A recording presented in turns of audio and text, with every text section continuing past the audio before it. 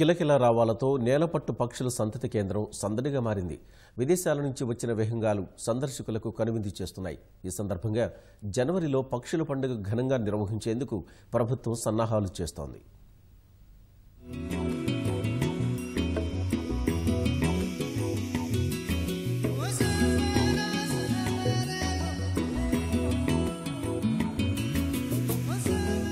నెల్లూరు జిల్లా నేలపట్టు పక్షుల సంతతి కేంద్రానికి ఇరవై ఆరు రకాల పక్షులు తరలివచ్చాయి.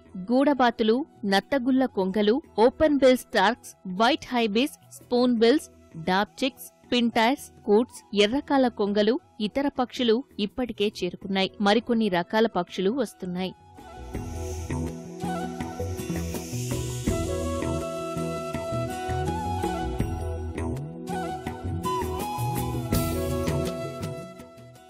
జనవరిలో నేలపట్టు ప్రాంతంలో రాష్ట్ర ప్రభుత్వం పక్షుల పండుగ నిర్వహించనుంది. ఇక్కడి విహంగులను తిలకించేందుకు దేశ విదేశాలకు చెందిన వేల మంది సందర్శకులు రానున్నారు.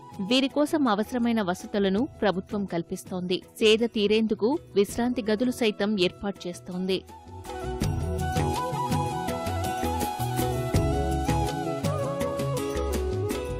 ఆసియా ఖండంలోని అతిపెద్దదైన నేలపట్టు కేంద్రంలో ఇప్పటికే వివిధ రకాల పక్షులు కేరింతలు కొడుతున్నాయి. నేలపట్టుకు వచ్చే పక్షుల గురించి వివరించేందుకు గైడ్లు ప్రదర్శనశాలలు సిద్ధం చేస్తున్నారు. వచ్చే నెల పదిహేడు నుంచి మూడు రోజుల పాటు పక్షుల పండుగ జరిగే అవకాశం ఉందని అధికారులు చెబుతున్నారు. బర్డ్స్ ఆరు వేల రెండు వందల యాభై ఐదు పక్షులు వచ్చున్నాయి. తొమ్మిది వందల అరవై ఐదు పెలికాన్స్ వచ్చున్నాయి.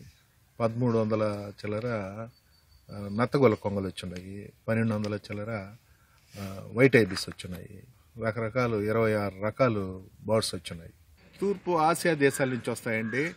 ఇవి జపాన్ చైనా తైవాన్ మక్కావ్ ఈ దేశాల నుంచి అంతా వస్తాయి ఇవంతా. నార్త్ కొరియా సౌత్ కొరియా అక్కడి నుంచి అంతా వస్తాయి. వలస మైగ్రేటెడ్ బర్డ్స్ ఇవి. గుడ్లు పెట్టి పిల్లలు చేసుకొని మళ్ళీ మార్చి ఏప్రిల్లో తిరిగి స్వదేశానికి వెళ్ళిపోతాయి అవి. ఎక్కడికి వచ్చి అక్కడికి వెళ్ళిపోతాయి. కుటుంబాలతో సహా వచ్చి పక్షుల కేంద్రాన్ని చూసేందుకు వీలుగా అనేక సౌకర్యాలు కల్పిస్తున్నారు.